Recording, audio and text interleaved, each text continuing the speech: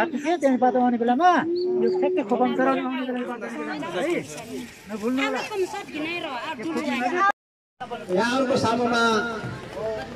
अति चिरपरिचित हुन चाह्यौँ र समयको परिस्थिति र एकतामा नभएर विश्वको कुना अनेकतामा छरिएर बसेर हाम्रो सङ्गठनहरू मजबुत भएका थिएनन्। हाम्रो कार्यक्रमहरू तर्जुमा भएका थिएनन्। त्यसले गर्दाखेरि अबका दिनमा हामीले सङ्गठित बनाऊ सहकार्य गरौँ। र कुनै पनि राज्यको निकायका सम्पूर्ण अङ्गहरूभित्र हामी पनि समावेशी हुन पाऊँ र हाम्रो आवाज पनि उठाउन पाऊँ भनेर हामीले बिस्तारै बिस्तारै हामी एउटा तोते बालकको रूपमा हामी अगाडि बढिरहेका छौँ र यो क्रम आज हामीले तपाईँहरूको सामुमा हामी स्थानीय स्तरका अर्थात् स्थानीय निकायका हामी सामुदायिक वन वडा कार्यालय लगायत तो अनेक विभिन्न सरकारवाला निकायहरूसँग हामीले वचनबद्धता गऱ्यौँ मौखिक वचनबद्धता गऱ्यौँ लिखित वचनबद्धता गऱ्यौँ र हामी पनि हामीलाई पनि थोरै सधैँको निमित्त हामी बसोबास बस्ने होइन सधैँको निमित्त उपयोगमा ल्याउने होइन। हामी चाहिँ एउटा मगरहरू एउटा प्रकृति प्रति आस्था राख्ने विश्वास राख्ने जसले आफ्नो आत्मालाई आत्मसन्तुष्टि प्राप्त गर्छ। भनेर हामीले सामुदायिक वनभित्र क्षेत्र परेको हुनाले हामीले सामुदायिक वन समितिका संस्थापक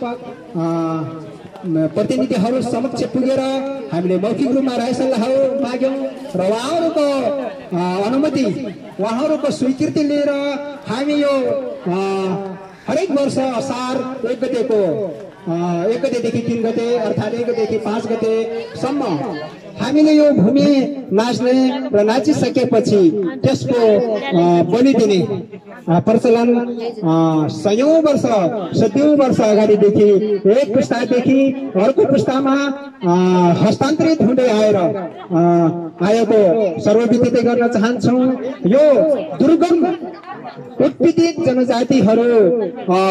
उत्पीडित वर्ग समुदायमा परेका हाम्रो समुदायहरू एउटा कुना कन्द्राको घेराभित्र मात्र रहेर आफ्नै स्थानमा मात्रै आफ्नै टोलमा मात्र आफ्नै क्षेत्रभित्र मात्र कहिले पनि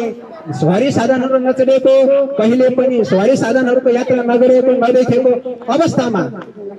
सबै मान्छेहरू बिना काममै संस्कृतितिर चाहिँ झल्केर वाद्यमालाहरू नाचगानहरू यस्तै चाहिँ मठ मन्दिरहरू पाथी पौवाहरू यस्तै संस्कार संस्कृतिहरू गर्दै आएको कुरा म तपाईँहरूलाई अवगत गर्न चाहन्छु र यो गर्ने क्रममा सृष्टिको सिर्जना हुनुदेखि सँगसँगै मानव सभ्यताले आफ्नो वर्ग समुदाय आफ्नो लिङ्ग पहिचान स्वरूप आफ्नो अधिकारहरू सीमान्त घेराभित्र रूपान्तरित गर्दै समयको बदलिँदो परिस्थिति र परिवर्तनशील युग अनुसार यो मगरहरू पनि यो जनजाति विशेष गरी जनजाति भन्न मिल्दैन। किनभने हामीले मूलवासी भन्न चाहन्छौँ। किनभने यो देशको मूलवासी भनेको चौधरीहरू राईका चौधरीहरू पहाडका मगरहरू अनि पूर्व मेचीदेखि पश्चिम महाकालीका गुरुङ राई लिम्बूहरू यिनीहरूले आफ्नो जीविकोपार्जन गर्नको लागि खेती किसानमा व्यस्त रहेर अर्थात् आफ्नो सिप आफ्नो कार्यदक्षताको आधारमा आफ्नो आत्मनिर्भर गर्नको निम्ति विभिन्न पेसामा संलग्न हुँदै आएको र मगरहरू विशेष गरी अहिलेको अवस्था मगरहरू नेपाल आर्मी नेपाल प्रहरीमा त्यति चासो नगरेर विदेशी सेनाहरूमा भारतीय सेनाहरूमा अनि अमेरिकाको चाहिँ अब श्रमिकहरू बन्नको निमित्त करोडौँ रुपियाँ खर्च गरेर त्यहाँ पुगिरहेको अवस्था छ। र अहिले हामीलाई यो यहाँ चाहिँ यस्तो सहयोग गरिरहेको अवस्थामा यो सञ्जालले हामीलाई थोरो प्रेरणा दिइरहेको अवस्थामा हामी पुनः होम आयुष्य जोडिनको लागि म उद्घोषकको हैसियतले यहाँ सामुदायिक वनप्रति म वडा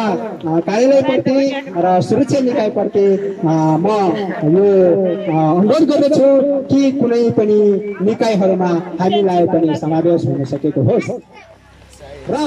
हामीले हाम्रो जायज मागहरू हुन्छन् भने सम्बोधन होस् नजायज माग हुन्छ भने हामी कानुनी कटघरामा उभिन हामी तयार छौँ।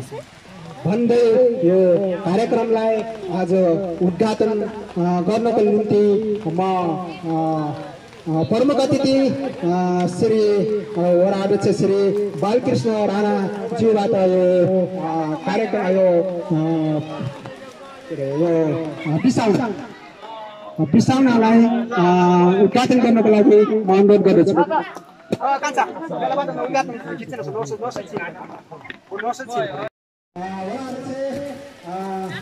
श्री बालकृष्ण राणाज्यूले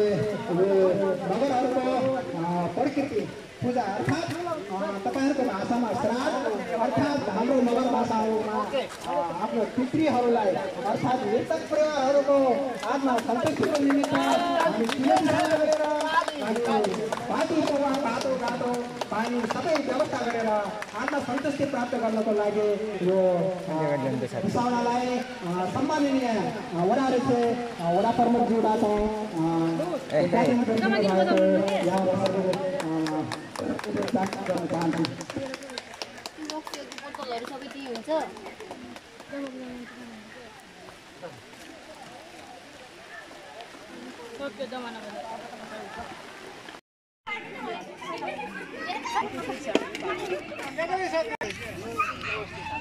यो पवित्र टिका लगाउँदै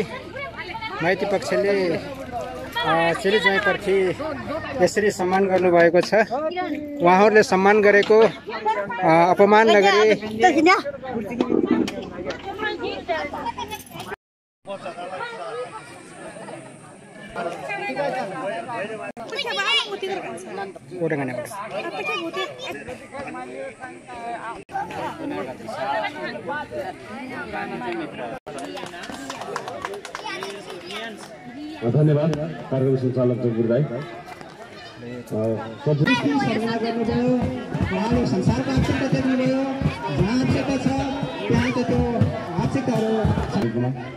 आयोजक कमिटीलाई धन्यवाद छ।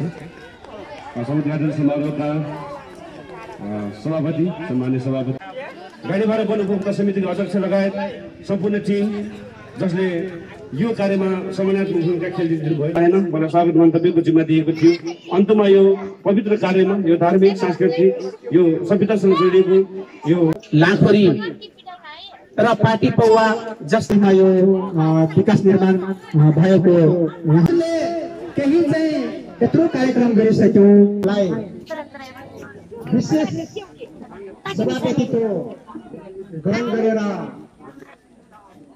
सिरासन गर्नुभएका उद्घाटन समारोहको कार्यक्रमलाई आफ्नो बडाहरू यहाँ टङ्ग्याउँदै म पनि बिदा हुन्छु। जय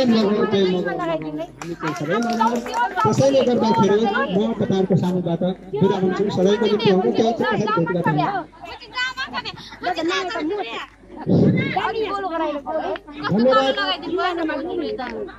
यस ऐतिहासिक कार्यक्रमका सञ्चालक। मेरा जन्मभूमि